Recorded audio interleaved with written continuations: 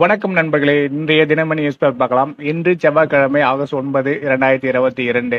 So முதல்ல வந்து ஒரு தலைப்புச் செய்தியாக போட்டிருக்காங்க. என்ன போட்டிருக்காங்கன்னா நாற்பத்தி நான்காவது சர்வதேச சதுரங்க போட்டி நிறைவு விழா இன்று நடக்கப் போகுது என்று போட்டிருக்காங்க. ஸோ முக்கியமான ஹெட்லைன்ஸ் மட்டும் நம்ம பார்த்துட்டே வரலாம்.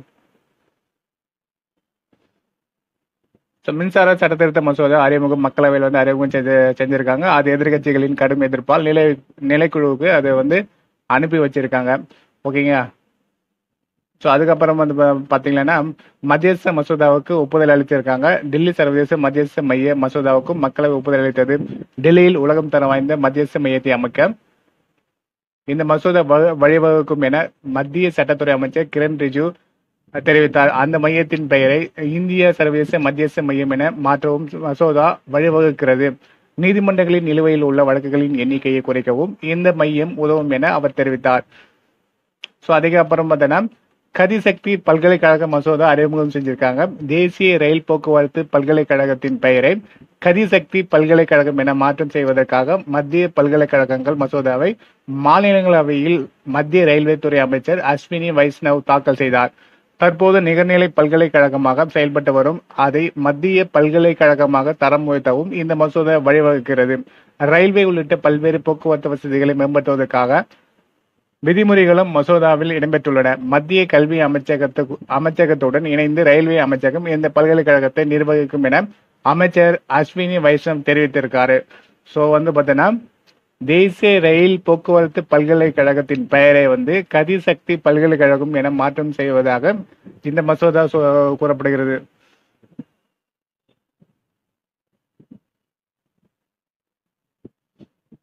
ஸோ நாடாளுமன்ற கூட்டத்தொடர் முன்கூட்டியே நிறைவு நிறைவு பெற்றிருக்கு. அதுக்கப்புறம் வந்து விவசாயிகள் ஏழைகளுக்கு எதிரான மசோதா வந்து ஆஹ், நமது தமிழக மின்சாரத்துறை அமைச்சர் வந்து தெரிவிச்சிருக்காரு. இந்த இந்த மசோதாவை அவர் வந்து எதிர்த்திருக்காரு. ஸோ வந்து இந்த மின்சார சட்ட திருத்த மசோதாவை அறிமுகம் செஞ்ச செய்த மக்களவையில் வந்து எதிர்க்கட்சிகள் வந்து கடும் எதிர்ப்பு தெரிவிச்சிருக்காங்க. இதுக்காக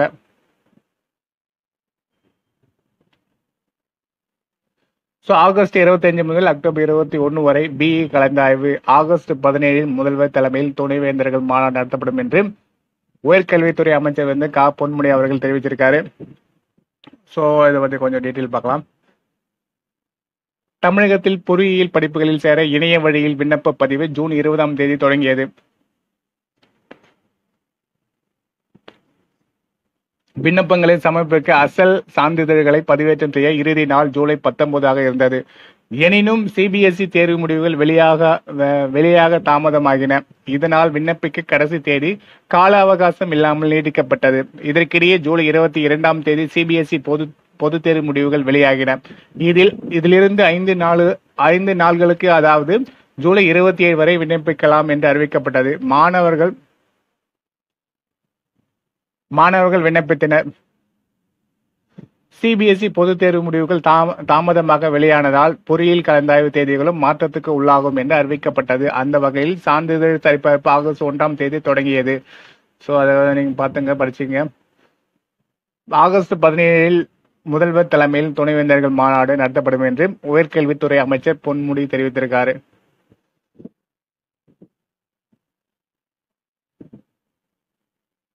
ஸோ அதுக்கப்புறம் இந்த பக்கம் நியூஸ் பார்த்தீங்கன்னா அரசியலுக்கு மீண்டும் வரும் திட்டம் இல்லை ரஜினிகாந்த் தெரிவிச்சிருக்காரு. ஸோ அரசியலுக்கு மீண்டும் வரும் திட்டம் இல்லை என்று நடிகர் ரஜினிகாந்த் கூறினார். டெல் சென்னை கிண்டியில் உள்ள ஆளுநர் மலையில் ஆளுநர் ஆர் என் ரவி ரஜினிகாந்த் திங்கட்கிழமை சந்தித்து பேசினார். அரை மணி நேரம் இந்த சந்திப்பு நடைபெற்றது. சந்திப்புக்கு பிறகு போயஸ் தோட்டம் இல்லத்தில் அவர் செய்தியாளர்களுக்கு அளித்த பேட்டி ஆளுநரை மரியாதை நிமித்தமாக சந்தித்தேன். முப்பது நிமிஷங்கள் வரை அவரோடு பேசிக் கொண்டிருந்தேன் காஷ்மீரில் பிறந்து வட இந்தியாவில் இருந்தவர். தமிழ்நாட்டு மக்களை மிகவும் நேசிக்கிறார். தமிழ் மக்களின் நேர்மை எளிமை க- கடின உழைப்பு போன்றவை அவருக்கு மிகவும் பிடித்திருக்கிறது. தமிழக மக்களின் ஆன்மீக உணர்வும் மிகவும் ஈர்த்திருக்கிறது. தமிழ்நாட்டின் நன்மைக்காக எதையும் செய்ய தயாராக இருப்பதாக அவர் கூறுகிறார் என்பது ரஜினிகாந்தின் பேட்டி.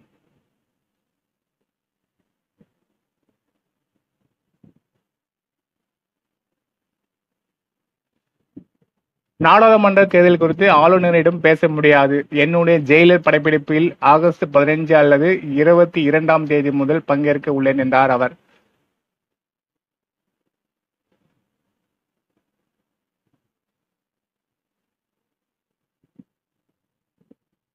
ஸோ ஒரு முக்கியமான முக்கியமான நியூஸ் அப்படின்னு பார்த்தோன்னா இதுதான் முக்கியமான நியூஸ் பரந்தூரில் ரூபாய் இருபதாயிரம் கோடியில் புதிய விமான நிலையம்.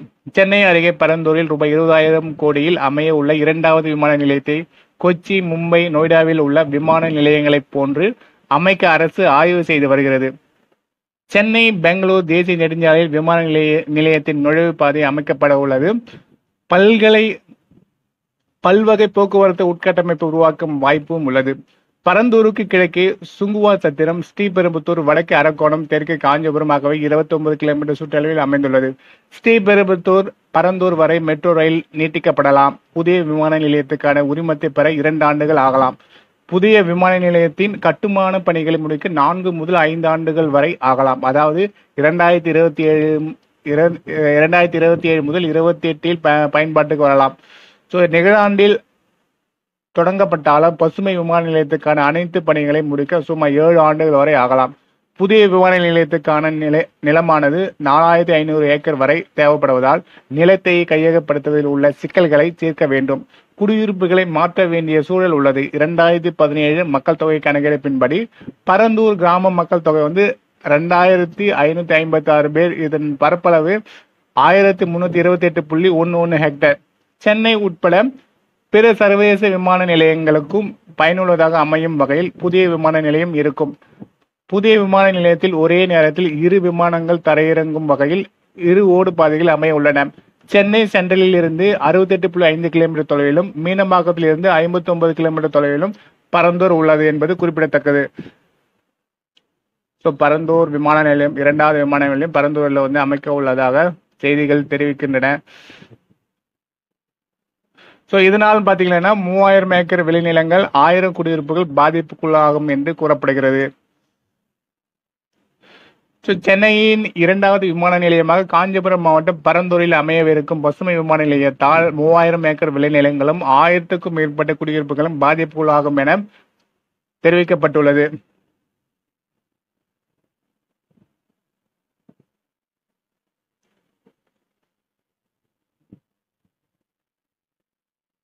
ஸோ பரந்தூரில் விமான நிலையம் அமைந்தால் ஏகனாபுரம் முற்றிலும் பாதிக்கப்படும் என்று காஞ்சிபுரம் ஆட்சியரிடம் கிராம மக்கள் முறையிட்டிருக்காங்க.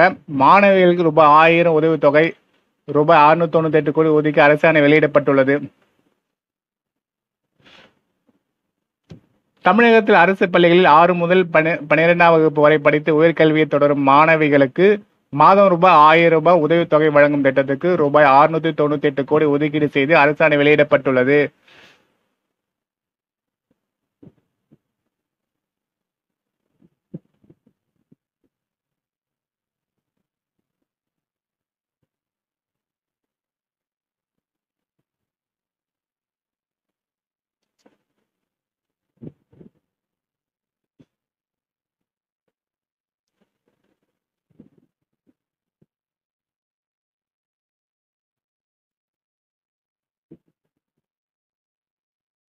ஸோ முக்கியமான நியூஸ் பண்ணி பார்க்கலாம்.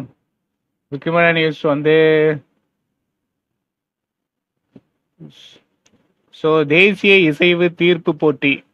சாஸ்திரா மாணவர்கள் வெற்றி பெற்றுள்ளதாக செய்திகள் தெரிவிக்கின்றன.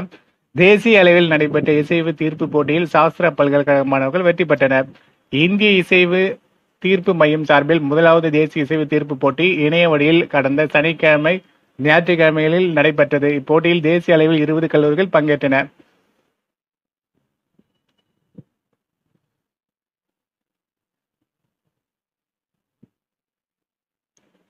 ஸோ இந்திய தலைமையகத்தில்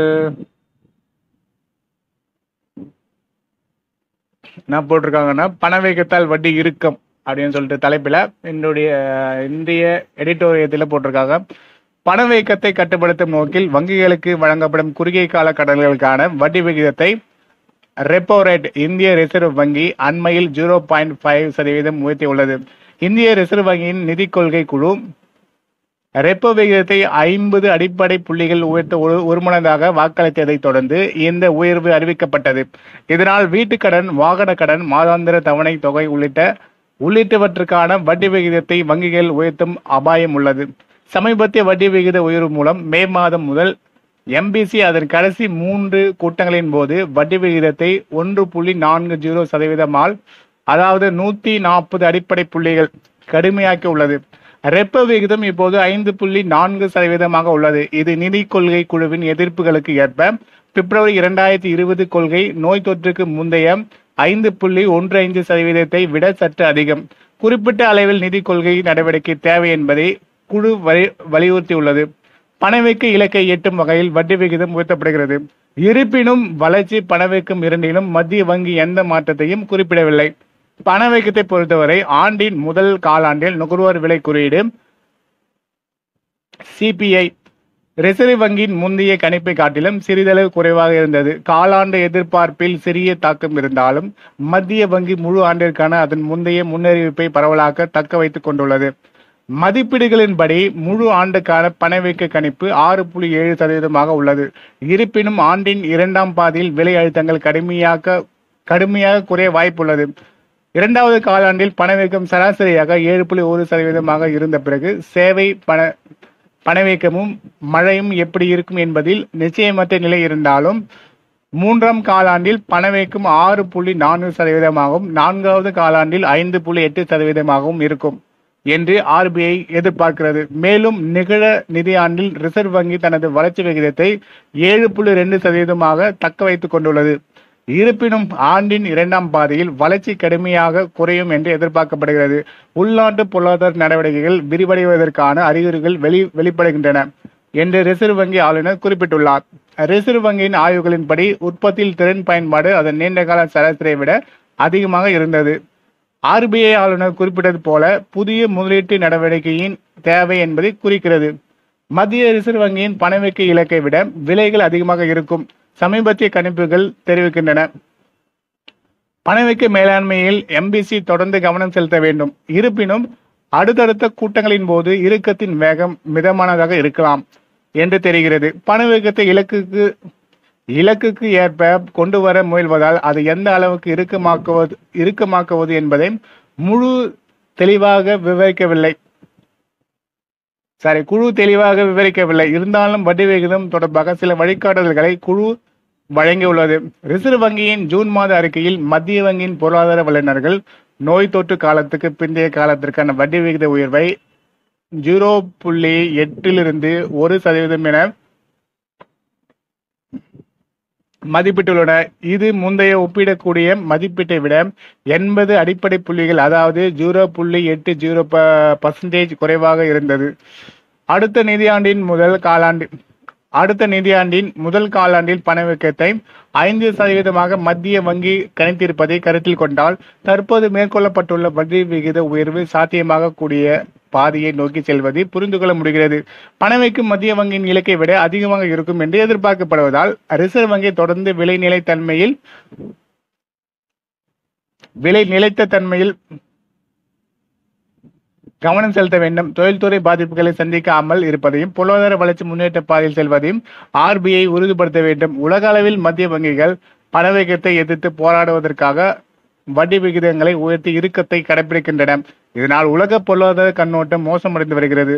என்பதையும் சொல்லாமல் இருக்க முடியாது. சமீப கால வரலாற்றில் உலக பொருளாதாரம் மிக கடுமையான சரிவை சந்தித்து கடந்த இரண்டரை ஆண்டுகளுக்கு பின்னரும் பொருளாதார கண்ணோட்டம் மேகமூட்டம் போலத்தான் உள்ளது. இந்த சூ இந்த சூழ்நிலையில் சர்வதேச நாணய நிதியம் ஐஎம்எஃப் இந்த ஆண்டு உலக வளர்ச்சிக்கான அதன் முன்னறிப்பை மூன்று புள்ளி ஆறு சதவீதத்திலிருந்து மூன்று புள்ளி ரெண்டு சதவீதமாக குறைந்துள்ளது. இந்த சமீபத்திய கணிப்புகள் ரெண்டாயிரத்தி இருபத்தி ஒன்னிலிருந்து ஆறு புள்ளி ஒரு சதவீதமாக உயர்ந்த உலக பொருளாதார வளர்ச்சி இரண்டாயிரத்தி இருபத்தி ரெண்டில் மூன்று புள்ளி ரெண்டு சதவீதமாக குறையும் என்பதை குறிக்கிறது. அடுத்த ஆண்டுக்கான வளர்ச்சி எதிர்பார்ப்புகளில் இன்னும் கடுமையான கடுமையான திருத்தம் ஏற்படுவது கவலைக்குரியது என்று கூறப்பட்டுள்ளது. இதற்கான திருக்குறள் அப்படின்னு பாத்தீங்கன்னா தெரிந்த இனத்தோடு தேர்ந்து எண்ணி செய்வார்க்கு அரும்பொருள் யாதொன்றும் மேல். அதாவது இது இதனுடைய விளக்கம் ஆராய்ந்து சேர்ந்த இனத்துடன் நன்றாக தேர்ந்து தாமும் எண்ணி பார்த்து செய்கின்றவர்க்கு அரிய பொருள் ஒன்றும் இல்லை என்பதுதான் இதனுடைய விளக்கமாக இருக்கிறது.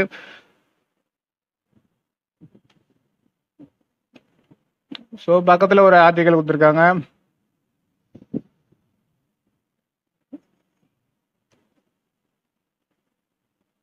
ஸோ அழிப்பதற்கென்று அழிப்பதற்கென்று அறிவியல் அப்படின்னு சொல்லிட்டு உ- உதயை மு வீரையன் என்ற என்பவர் என்ன ஒரு ஆர்டிகல் வந்து எழுதியிருக்காரு. அதை பற்றி டீட்டெயிலாக படிக்கணும். இதை வந்து பேப்பரில் படித்து தான் நல்லாயிருக்கும். ஸோ நான் படித்தேன்னா வந்து டைம் வந்து அதிகமாகிடும் ஸோ எக்ஸ்டெண்ட் ஆகிடும் அதாவது இரண்டாம் உலகப் போரின் இறுதியில் ஆயிரத்தி தொள்ளாயிரத்தி நாற்பத்தஞ்சு ஆகஸ்ட் ஆறிலிருந்து ஒன்பது தேதிகளில் ஜப்பான் நகரங்களான ஹிரோஷிமா நாகசாகின் மீது முதல் முறையாக அணுகுண்டு வீசப்பட்டது. அதனால் விளைந்த அழிவுகள் கற்பனைகளுக்கும் அப்பாற்பட்டவை என்பதிலிருந்து தொடங்கியிருக்காரு இவர். ஸோ ஒரு முறை படிச்சுங்க. அப்பதான் நல்லா இருக்கும் ஸோ பே சுப்பிரமணியன் என்பவர் கவனம் பெற வேண்டும் பாலின விகிதம் என்று ஒரு ஆர்டிகளை வந்து எழுதியிருக்காரு.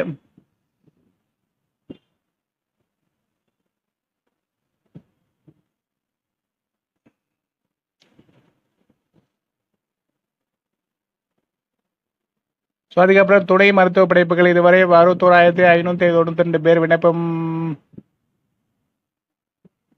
விண்ணப்ப விண்ணப்பித்திருக்கிறாங்க அப்படின்னு சொல்லி செய்திகள் தெரிவிக்கின்றன. எஸ்சி எஸ்டி பிரிவிலிருந்து தலா ஒரு துணை வேந்த கல்வி அமைச்சகம் வந்து தெரிவிச்சிருக்காங்க. மாநிலவை செயல்திறன் எழுபது சதவீதம் அதிகரிப்பு. வெங்கைய நாடு பிரிவு உபச்சார நிகழ்ச்சியில் பிரதமர் மோடி புகழாரம் தெரிவிச்சிருக்காரு.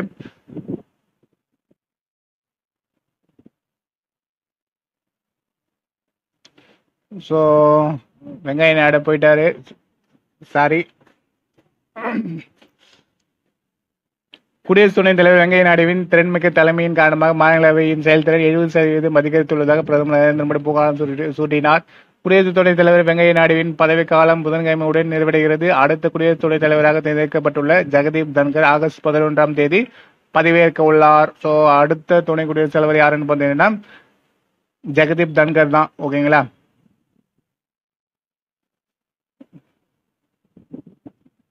ஸோ வெங்கைய நாடுடைய பதவிக்காலம் நிறைவடைந்து அடுத்த துணை குடியரசுத் தலைவர் வந்து தேர்ந்தெடுக்கப்பட்டுள்ளார். அவர் பேர் என்னென்னு பார்த்தீங்கன்னா ஜ- ஜெகதீப் தன்கர் என்பது குறிப்பிடத்தக்கது. ஸோ நிகழாண்டு முன்னூற்றி எண்பத்தி ஆறு ஆசிரியர்களுக்கு டாக்டர் ராதாகிருஷ்ணன் விருது தேர்வு நடைமுறைகள் வெளியிடப்பட்டுள்ளது. ஸோ நிகழாண்டில் இந்த ஆண்டில் வந்து பார்த்தா முந்நூற்றி எண்பத்தி ஆறு பேருக்கு வந்து பார்த்தீங்கன்னா டாக்டர் ராதாகிருஷ்ணன் விரு ஆசிரியர்களுக்கு வந்து டாக்டர் ராதாகிருஷ்ணன் விருது வந்து கொடுத்துருக்காங்க. ரூபாய் முன்னூத்தி எழுபத்தி எட்டு கோடியில் காவல்துறைக்கு புதிய கட்டு கட்டிடங்கள் முக முதல்வர் மு க ஸ்டாலின் திறந்து வைத்தார். ஸோ பாஜக கூட்டணியிலிருந்து விலகிறார் நிதிஷ்குமார்.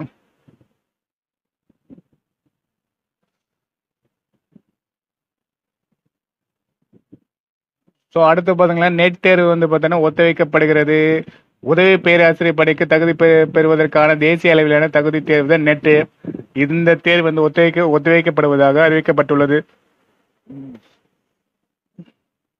வரும் பனிரெண்டு பதிமூணு பதினான்காம் தேதிகளில் நடைபெறவிருந்த இந்த இரண்டாம் கட்ட நெட் தேர்வு. வரும் செப்டம்பர் மாதம் இருபது முதல் முப்பதாம் தேதிக்கு இடைப்பட்ட காலத்தில் நடத்தப்படு நடத்தப்படும் என்று யூஜிசி தெரிவித்துள்ளது. ஸோ ஸோ இரண்டாம் கட்ட தேர் இரண்டாம் கட்ட நெட் தேர்வு வந்து பார்த்தீங்கன்னா செப்டம்பர் மாதம் இருபது முதல் முப்பதாம் தேதிக்குள் அந்த இடைப்பட்ட காலத்தில் வந்து நடத்த திட்டமிட்டுள்ளதாக செய்திகள் தெரிவிக்கின்றன.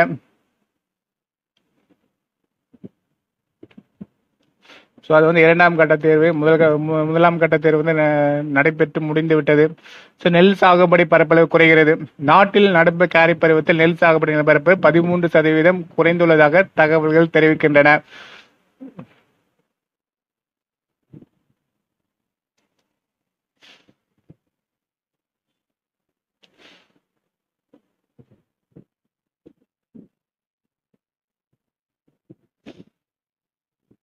ஸோ ராஜஸ்தான் கோயில் கூட்ட நெரிசலில் மூன்று பெண்கள் பலியாகி உள்ளதாக செய்திகள் தெரிவிக்கின்றன. ராஜஸ்தானின் சிகார் பகுதியில் அமைந்துள்ள பிரசித்தி பெற்ற பிரசித்தி பெற்ற காது சியாம்ஜி கோயில் திங்கட்கிழமை அதிகாலை நேரிட்ட கூட்ட நெரிசலில் சிக்கி மூன்று பெண்கள் பலியாகி பலியாகின. அவர்களது குடும்பத்தினருக்கு பிரதமர் மோடி உள்ளிட்ட இரங்க உள்ளிட்டோர் இரங்கல் தெரிவித்திருக்காங்க. ஸோ ஏகாதசியையொட்டி இந்த கோயில் வழிபாடு நடத்தப்படுவதற்கான ராஜஸ்தான் மட்டுமின்றி அண்டை மாநிலங்களிலிருந்தும் ஆயிரக்கணக்கான ஆயிரக்கணக்கான பக்தர்கள் ஞாயிற்றுக்கிழமை இரவு முதலே வரிசையில் காத்திருந்தனர் திங்கட்கிழமை அதிகாலை நான்கு முப்பது மணிக்கு நடை திறக்கப்பட்டதும் பக்தர்கள் கூட்டமாக உள்ளே நுழைந்ததால் திடீரென்று நெரிசல் ஏற்பட்டது. இதில் இருதய நோயால் பாதிக்கப்பட்ட ஹரியானா மாநிலம் ஹிசார் பகுதியை சேர்ந்த சாந்தி தேவி மயங்க கீழே விழுந்து இறந்தார்.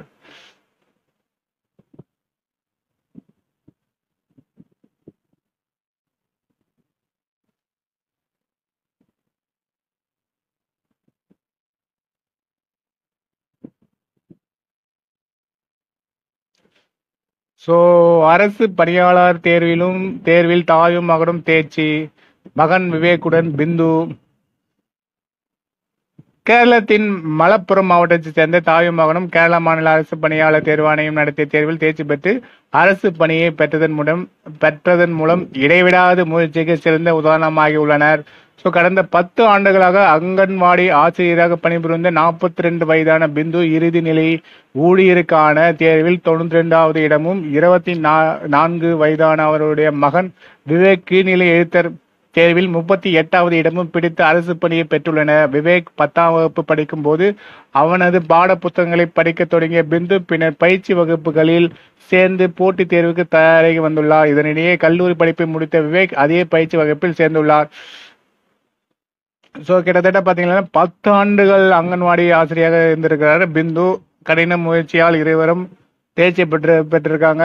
கேரளாவில் அவங்களுக்கு நம்மளுடைய வாழ்த்துக்கள்.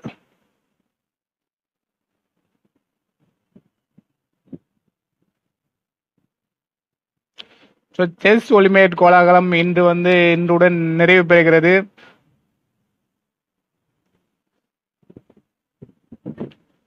ஸோ பத்தாம் சுற்று இந்திய மகளிர் ஏ அணிக்கு தங்க தங்க வாய்ப்பு கிடைக்கும்.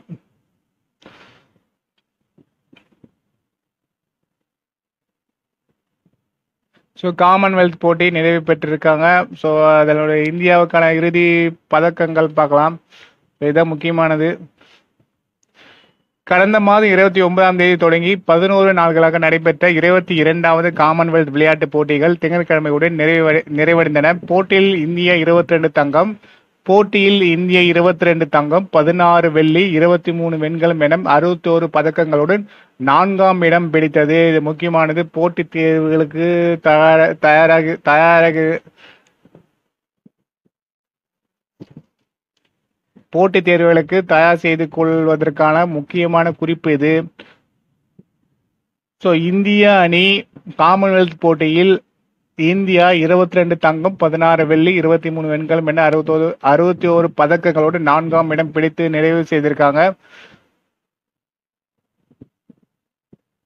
ஸோ முதலிடம் பார்த்தீங்கன்னா ஆஸ்திரேலியா அறுபத்தி ஏழு ஐம்பத்தி ஏழு ஐம்பத்தி நாலு இங்கிலாந்து ஐம்பத்தி ஏழு அறுபத்தி ஆறு ஐம்பத்தி மூணு கனடா இருபத்தி ஆறு முப்பத்தி ரெண்டு முப்பத்தி நாலு என தொடர்ந்து ஒன்றாவது இரண்டாவது மூன்றாவது என்ற வரிசையில் வரிசையில் இடம்பெற்றிருக்கு. அது நான்காவது இடம் வந்து நமது India.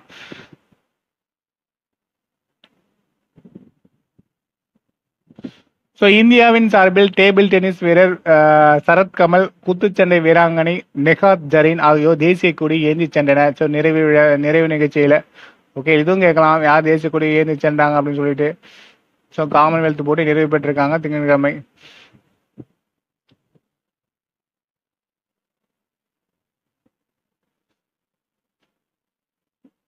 So chess olympiad chess chess ஒலிம்பியாட்டில் பார்த்தீங்கன்னா நம்ம தரவரிசை பட்டியல் வெளியிட்டிருக்காங்க. அதில் டாப் டென் நாடுகளில் வந்து Russia America Germany Ukraine India India பார்த்தீங்கன்னா ஸோ ஐந்தாவது இடத்துல இந்தியா இருக்குது Spain France Serbia Hungary Poland அப்படின்னு தரவரிசை பட்டியல் வெளியிட்டிருக்காங்க.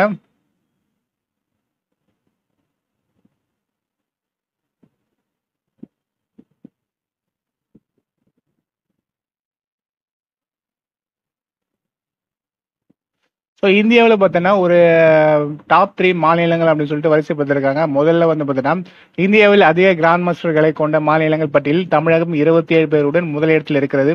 அடுத்து அடுத்ததாக மகாராஷ்டிரம் பத்து பேருடன் இரண்டாம் இடத்திலும் மேற்கு வங்கம் ஒன்பது பேருடன் மூன்றாம் இடத்திலும் உள்ளது. ஸோ நம்ம இந்திய தமிழ்நாடு சார்பாக கிட்டத்தட்ட இருபத்தி ஏழு இருபத்தி ஏழு கிராண்ட் மாஸ்டர்கள் நம்ம தமிழ்நாட்டில் இருக்காங்க. ஓகேங்களா?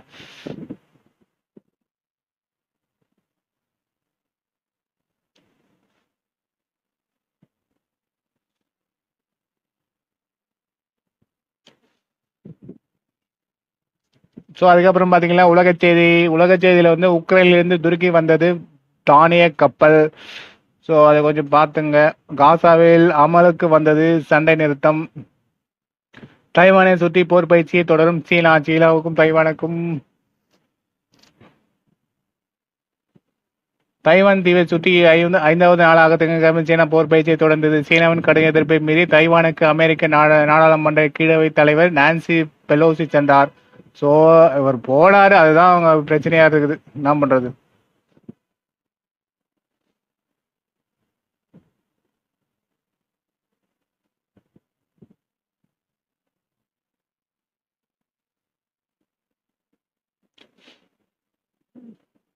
ஸோ வர்த்தக செய்தியில் பார்த்தீங்கன்னா சென்செக்ஸ் மேலும் நானூற்றி அறுபத்தஞ்சு புள்ளிகள் முன்னேற்றம்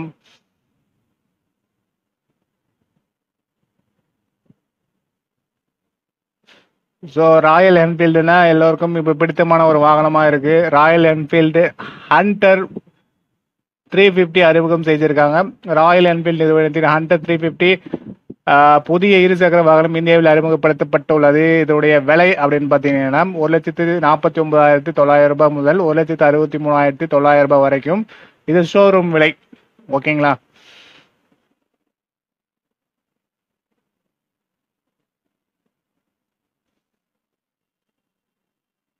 ஸோ தமிழக நியூஸ் வந்து கை கைத்தறி நெசவாளர்கள் ஏற்றுமதியாளர்களுக்கு விருது வழங்க வழங்கினார் மு ஸ்டாலின் முதல்வர் மு ஸ்டாலின் அவர்கள்.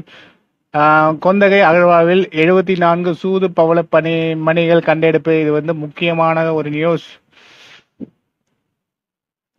ஸோ சிவகங்கையில கொந்தகை அகழா அகழாவில் கொந்தகை அகழாய்வில் புதுமக்கள் தாழை தாழைக்குள் எழுபத்தி நான்கு சூது பவள திங்கட்கிழமை கண்டெடுக்கப்பட்டுள்ளன. சிவகங்கை மாவட்ட திருபுவனம் அருகே கீழடி அகரம் கொந்தகை மணலூர் ஆகிய பகுதிகளில் எட்டாம் கட்ட அக-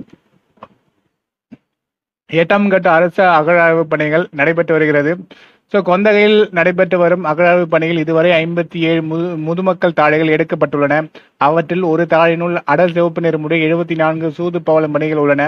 பழங்காலத்தில் இருந்த நபர்களை தாழினுள் வைத்து புதைக்கும் போது அவர்கள் பயன்படுத்திய பொருள்களையும் வைத்து புதைப்பது வைத்து புதைப்பது வழக்கம்.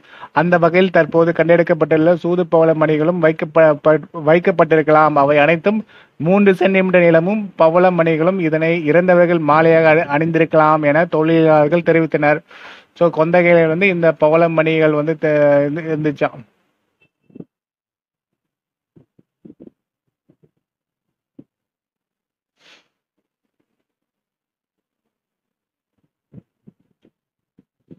ஸோ ஆறு மாவட்டங்களில் எந்த மிதமான மழைக்கு வாய்ப்பு உள்ளதாக செய்திகள் தெரிவிக்கின்றன. ஆக்சிஜன் கட்டமைப்பில்லாத மருத்துவமனைகளுக்கு பதிவு உரிமம் இல்லை என்று மருத்துவ சேவை இயக்கம் தெரிவிச்சிருக்காங்க ஸோ தமிழகத்தில் பார்த்தீங்கன்னா ஆயிரத்துக்கு கீழ் குறைந்தது கரோனா பாதிப்பு. ஸோ அவ்வளோதான் ஃப்ரெண்ட்ஸ் முக்கியமான செய்தி முடிச்சிட்டோம். ஸோ நன்றி. அடுத்த தினமணி நியூஸ் பேப்பர் நாளை பார்க்கலாம். நன்றி.